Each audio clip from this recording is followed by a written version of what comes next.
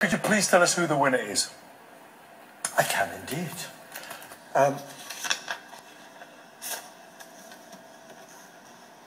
the winner has a brilliant job title. He is the Master of Imagination. The Ted Wragg Lifetime Achievement Award goes to Jeff Stratton from Lipson Community College in Plymouth.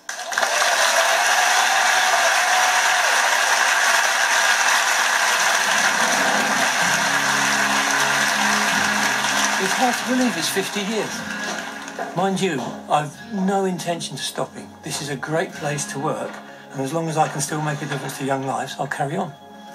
I first came across Jeff about 15 years ago when I was a new head teacher.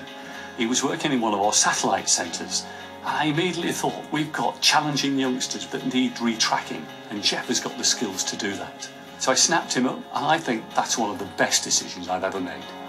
When I left art college, the principal said to me, you'll never make a living as a painter, you can't make a living, you have to teach. So I was a teacher and then became deputy head. I was appointed head in the early 80s of a secondary school in Plymouth, which really needed turning around. And it did turn into a really beautiful school. From there, I went to County Hall as a senior education officer, became very disillusioned with the whole politics and went back working as a volunteer. And then Steve saw my work. Glory be. What a good day that was. He's far more than an art teacher. He's our master of imagination. He works creatively to engage students and build their self-esteem to allow them to feel they can be the people they want to be. The whole thing about drawing is this business of representing three dimensions on a two-dimensional surface. You're not copying what's there, you're representing it, you're making sense of it. Because Jeff's been teaching for so long, he's managed to teach parents and then children and soon to be grandparents of the same families. He taught me in primary school when he used to drop in, and then he taught me here whilst I was at Lipson for my school years. And then I went away and did my degree, and now I'm back working alongside him as a teaching assistant, and he's not changed at all. Teaching is actually looking after the children. We're in loco parentis. We're their parents. We've been given that by their parents. We look after them. Teaching children is teaching them everything. A few years ago, I was in a, a bad place, um, and I couldn't. Emotionally, I, was, I found it difficult, and I couldn't deal with it on my own. This helped me in many different ways. This helped me academically, and this helped me personally confront a lot of demons. Jeff links with our community remarkably well. He leads on work with the Respect Festival, with the Barbican Theatre, and of course here at the college he's, he's our chief set builder. He never ceases to amaze with what he can do artistically, and of course his creative use of well, cardboard. What do you reckon, girls? Cardboard mouse. Does that work? I feel like nobody's managing me at all. I mean, I know they are, probably very cleverly. But Steve just lets me do my own thing. I can get away with wearing red and green shoes. I can get away with not doing my tie up in the usual way, wearing it around my neck. But it's about being allowed to be who I am.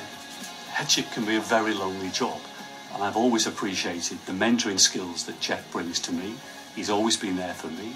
He's a hero to me, and I know he's a hero to all our school community. The day will come probably when I'm a grumpy old man and someone will point it out to me and say, come on Jeff, you're a bit past it now. And in that case, I'd probably go and work at home. But it won't stop because I am who I am. Please welcome to the stage our Lifetime Achievement winner, Jeff Stratton from Lipson Community College.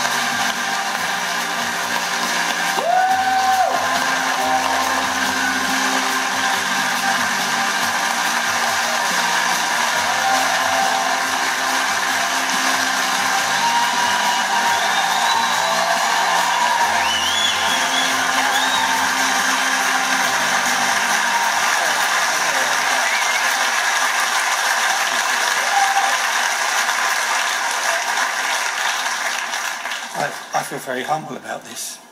Um, I've got lots of people that I could thank, but who, the people I really must thank the most are the, the, my colleagues at present at Lipson Community College. It's a fantastic place to work, wonderful.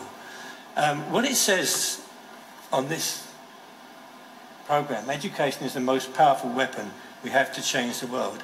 I know that's true. I've seen it. I've seen it happen. When I first started teaching, There was a Berlin Wall. There was apartheid in South Africa. There was segregation in America. Gay people could be prosecuted and put in prison. Teachers were expected to cane and hit children round the head. It was a moral duty.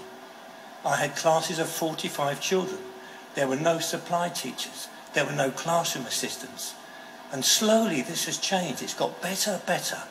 Most of the children I first taught left school at 15 with no qualifications at all. Since then, all sorts of changes have happened. Gradually, the zeitgeist has got better and better. I'm so optimistic about the future. Our young people are fantastic. They're marching into the future with our help. And I'm so optimistic. Thank you ever so much for this award. I'm most grateful, but it is for me and all my colleagues. Thank you very, very much.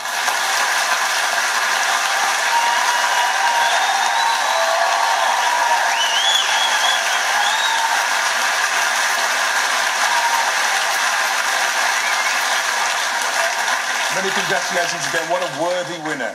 Now, remember, anyone and everyone can